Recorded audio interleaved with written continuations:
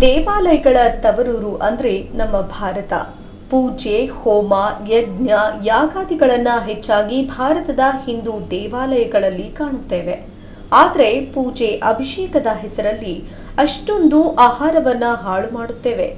ಜಗತ್ತಲ್ಲಿ ಅದೆಷ್ಟೋ ಜನಕ್ಕೆ ತಿನ್ನಲು ಅನ್ನವಿಲ್ಲದೆ ಪರದಾಡುವಾಗ ನಾವು ಕಲ್ಲಿನ ವಿಗ್ರಹಗಳಿಗೆ ಹಾಲು, ತುಪ್ಪ, ಹಣ್ಣು ಅಂತೆಲ್ಲ ಹಾಳು ಮಾಡ್ತೇವೆ. ಅಭಿಷೇಕದ ಹೆಸರಲ್ಲಿ ಇಷ್ಟೊಂದು ವ್ಯರ್ಥ ಮಾಡುತ್ತೇವೆ.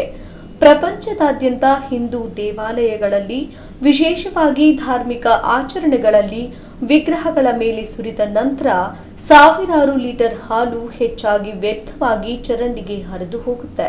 ಆದರೆ ಚರಂಡಿಗೆ ಇಳಿಯುವ ಹಾಲನ್ನ ಅಕ್ಷರಶಃ ಉತ್ತಮ ಬಳಕೆಗೆ ವಿನಿಯೋಗಿಸಿದ್ರೆ ಹೇಗಿರುತ್ತೆ ಅನ್ನೋದಕ್ಕೆ ನಮ್ಮ ಭಾರತದ ಬೆಂಗಳೂರಿನಲ್ಲಿರುವಂತಹ ಗವಿ ಗಂಗಾಧರೇಶ್ವರ ಶಿವ ದೇವಾಲಯವು ಸಾಮಾನ್ಯವಾಗಿ ವ್ಯರ್ಥವಾಗುವ ಲೀಟರ್ ಹಾಲನ್ನ ಪೂಜಾ ಅಧಿವೇಶನದ ನಂತರ ಭಕ್ತರಿಗೆ ನೀಡಬಹುದಾದ ಪ್ರಸಾದದ ರೂಪದಲ್ಲಿ ಮಜ್ಜಿಗೆ ಮೊಸರು ಆಗಿ ಪರಿವರ್ತಿಸುವ ಉಪಕ್ರಮವನ್ನು ಪ್ರಾರಂಭ ಮಾಡಿದೆ. ದೇವಾಲಯದ ಮುಖ್ಯಸ್ಥರಾಗಿರುವ ಈಶ್ವರಾನಂದ ಸ್ವಾಮೀಜಿ ಅವರು ದೀರ್ಘಕಾಲದ ಸಂಶೋಧನೆಯ ನಂತರ ಈ ವಿಚಾರ ಬಂದಿರುವುದಾಗಿ ತಾವು ಭಕ್ತರಿಗೆ ಎಷ್ಟು ಉತ್ತಮವಾಗಿ ಸೇವೆ ಸಲ್ಲಿಸಬಹುದು ಎನ್ನುವ ಬಗ್ಗೆ ಹೇಳಿದ್ದಾರೆ.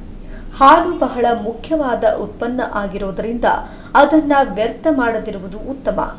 ಈ ಹಾಲನ್ನ ಮಜ್ಜಿಗೆಯಾಗಿ ತಯಾರಿಸಲು ಒಂದು ದಿನ ತೆಗೆದುಕೊಳ್ಳುವುದರಿಂದ ನಾವು ಸಾಮಾನ್ಯವಾಗಿ ಮಂಗಳವಾರ ಮಜ್ಜಿಗೆಯನ್ನ ನೀಡುತ್ತೇವೆ. ಹಾಗೆ ಈಶ್ವರಾನಂದ ಸ್ವಾಮೀಜಿಗಳು ಮಜ್ಜಿಗೆ ಮೊಸರನ್ನ ತಯಾರಿಸುವಾಗ ಅಥವಾ ಬಡಿಸುವಾಗ ಪ್ಲಾಸ್ಟಿಕ್ ಬಳಸದೆ ವ್ಯರ್ಥವನ್ನ ಕಡಿತಗೊಳಿಸಲು ದೇವಾಲಯವು ಹೆಚ್ಚುವರಿ ಮೈಲಿ ದೂರ ಹೋಗುತ್ತದೆ.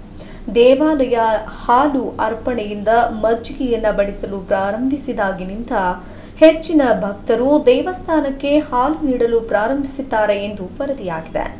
ನಿಜಕ್ಕೂ ಅದ್ಭುತವಾದ ಕಲ್ಪನೆ, ಅದರಲ್ಲೂ ವಿಶೇಷವಾಗಿ ಥೈಮುಸಸ್ ಕೇವಲ ಮೂಲೆಯಲ್ಲಿದ್ದಾಗ ಬಹುಶಃ ಮಲೇಷಿಯಾದ ದೇವಾಲಯಗಳು ಇದರಿಂದ ಒಂದು ಸೂಚನೆಯನ್ನ ತೆಗೆದುಕೊಳ್ಳಬಹುದು ಮತ್ತು ಭಕ್ತರಿಗೆ ಹಿಂತಿರುಗಿಸಲು ಇದೇ ರೀತಿಯ ಕ್ರಮಗಳನ್ನು ಜಾರಿಗೆ ತರಬಹುದು ಮತ್ತು ಅದೇ ಸಮಯದಲ್ಲಿ ವ್ಯರ್ಥವನ್ನ ಕಡಿಮೆ ಕೂಡ ಮಾಡಬಹುದು. ಪರಿಸರ ಸ್ನೇಹಿಯಾಗಿ ಪರಿಸರವನ್ನ ಸಂರಕ್ಷಿಸಬಹುದು. ನ್ಯೂಸ್ ಅಲರ್ಟ್ ಫೇಸ್ಬುಕ್ ಅಲ್ಲಿ ಲೈಕ್ ಮಾಡಿ. ಯೂಟ್ಯೂಬ್ ಅಲ್ಲಿ. ಸಬ್ಸ್ಕ್ರೈಬ್ ಮಾಡಿ ಶೇರ್ ಮಾಡಿ ಲೈಕ್ ಮಾಡಿ ಕಮೆಂಟ್ ಮಾಡಿ. ಪ್ಲೇ ಆಪ್ನ ಡೌನ್ಲೋಡ್ ಮಾಡಿ. ಎಂಜಾಯ್ ಮಾಡಿ. ಎಲ್ರಿಗೂ ಒಳ್ಳೆದಾಗಿ ಜೈ ಹಿಂದ್ ಜೈ ಭುವನೇಶ್ವರ್.